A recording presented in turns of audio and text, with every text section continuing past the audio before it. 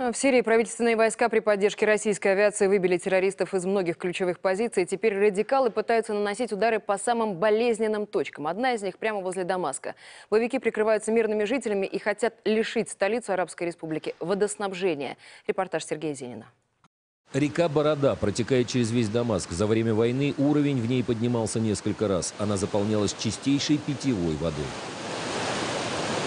Это та же река, только в часе езды от столицы. Горный район на границе с Ливаном. Пройти вверх по течению невозможно. Там сейчас террористы. Под их контролем главный источник питьевой воды и жизни сирийской столицы – город Аин-Фижи. Подача воды в Дамаск прекращена. Пусть сирийская армия убирается отсюда, иначе они будут пить воду только из мутной реки. Видео снимали террористы. Это они в кабинете директора водозабора. Один из тех дней, когда сбросили всю питьевую воду в реку. Демонстрация силы, но желаемого эффекта добиться не удалось. Подземные хранилища Дамаска позволяют долгое время жить автономно. Столица не испугалась, а от армии пришел адекватный ответ. Одним ударом была уничтожена база террористов на окраине города. Пожалуй, это единственное место во всей Сирии, где город, находящийся под контролем террористов, можно увидеть сверху. Вон там он внизу. Дети только что выходили из медресе, по нему ездят машины. Там находятся запрещенные в России ИГИЛ и Джабхадан Нусра. Периодически они ссорятся друг с другом и звучат перестрелки, военные их слышат. Пост пытались атаковать несколько раз, все попытки были отбиты. Полковник сирийской армии говорит, что боевики занимают всю долину, их там порядка трех тысяч. Террористы под прицелом, но нельзя стрелять. Там много мирных жителей, террористы этим пользуются. Мы знаем, где их штаб. Он в одном из домов рядом с главной мечетью. Это самый центр города. Ни авиация, ни артиллерия по жилым кварталам бить не будут. Единственный вариант, как говорят военные, не давать боевикам перемещаться и ждать, когда они сами покинут город. Условия для этого есть.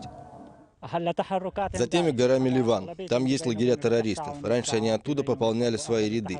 Мы отрезали эти каналы, и теперь ждем, когда они все уйдут обратно. Мы их измотаем и вернем себе город и источник воды. Здесь гнездо боевиков. Днем они прячутся в глубине зданий в черных проемах.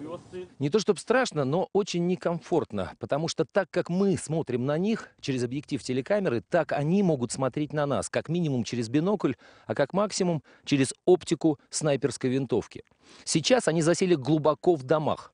К ночи выйдут и начнут обстреливать позиции сирийской армии. Кадры, снятые террористами, подтверждают мои слова. Головы тех, кто находится на высоте, они хорошо видят. Было несколько попыток выбить нас отсюда. Они поняли, что это бесполезное занятие, притихли. И вода в Дамаск поступает без перебоев. Главный распределительный узел питьевой воды в Дамаске. Объект стратегический. Несколько дней мы ждали разрешения на съемку. Это конечная точка, дальше только потребители. По 14-километровым подземным тоннелям с той территории, которую контролируют террористы, вода поступает сюда, на насосную станцию.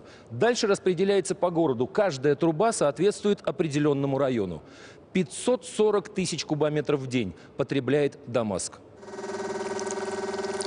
Анализ воды в столице проводят ежедневно в 66 точках города. Лаборатории современные.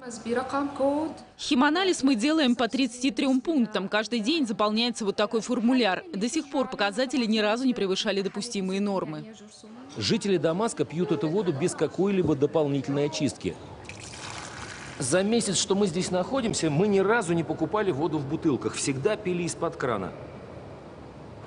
Сергей Зенин, Алексей Шишкин, Дмитрий Зельвянский, Дмитрий Синицын, Первый канал. Аин Фижи, Дамаск, Сирия.